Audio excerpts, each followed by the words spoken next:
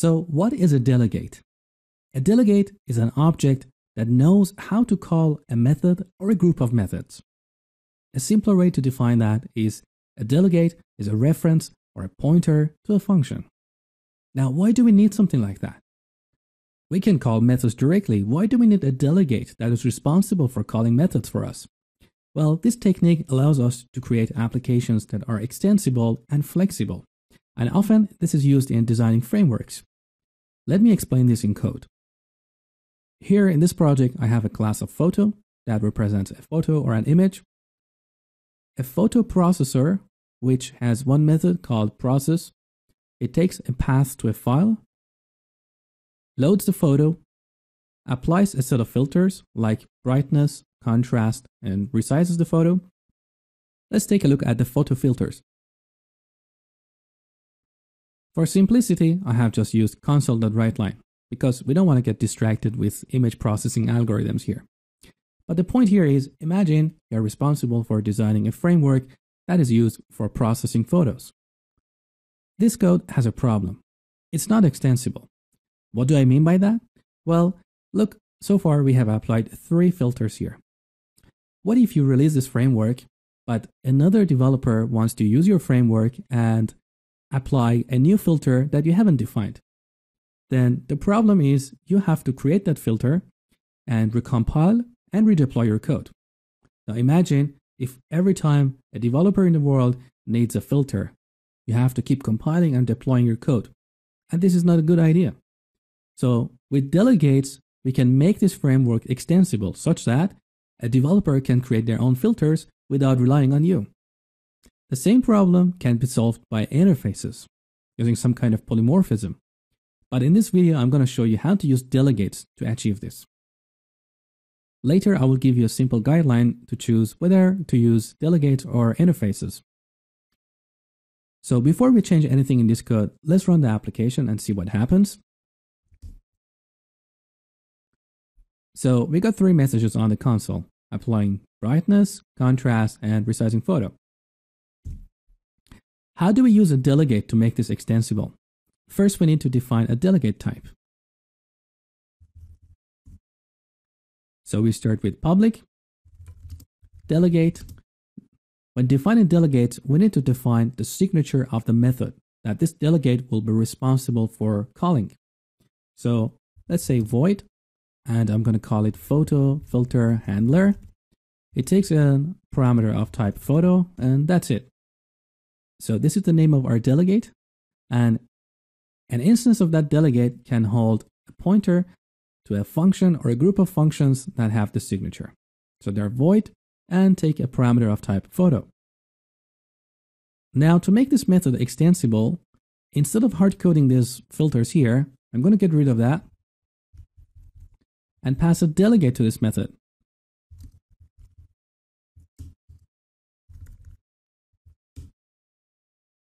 And call it here passing our photo object. What this means is this code does not know what filter will be applied, and it's the responsibility of the client of this code.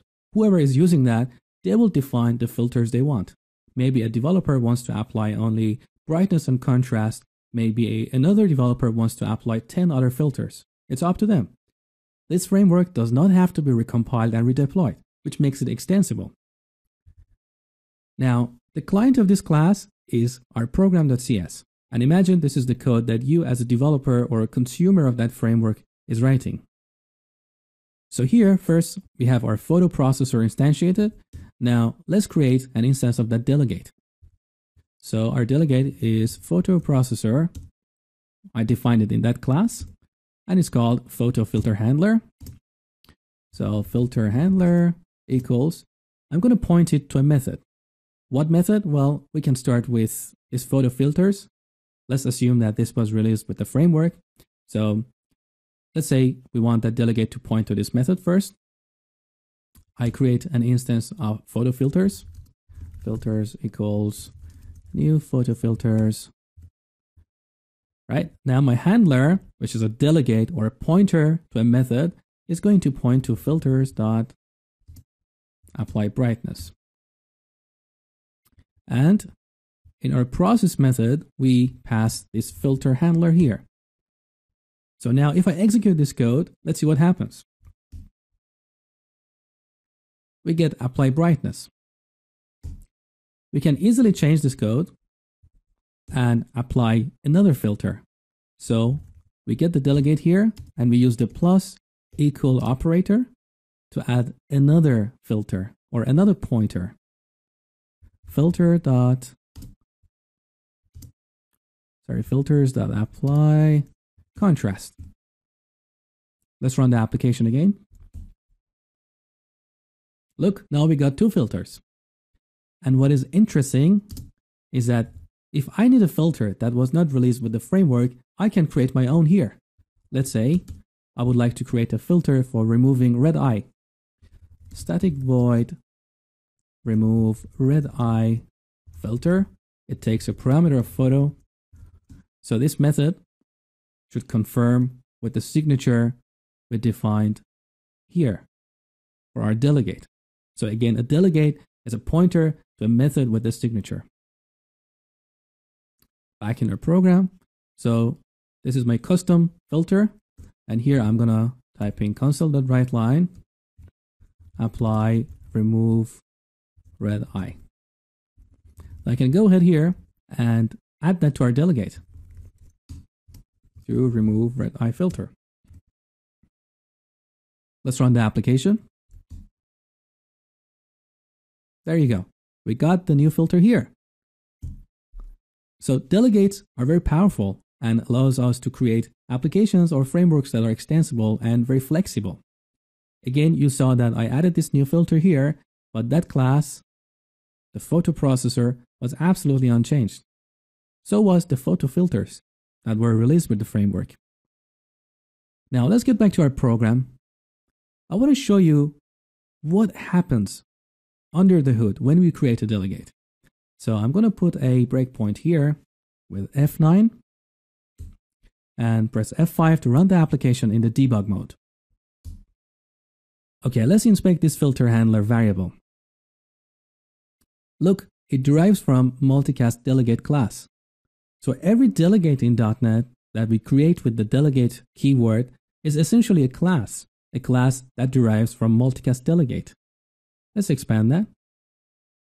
So that class, multicast delegate, is derived from system.delegate. Let's expand this. This delegate class has two public properties, a method and a target. Method represents the method that the delegate is pointing to. So in this case, we set our delegate to point to apply brightness method of photo filters class. So target is the class that holds that method. Now, let's continue execution one line. So F10. Let's see what happens. Filter handler. I expand it here.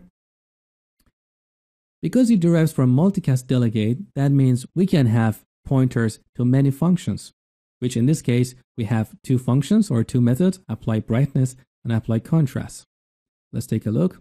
So if I expand multicast delegate and the non-public members, it has a field called invocation list. Let's expand that. So it has two methods. One is apply brightness, one is apply contrast.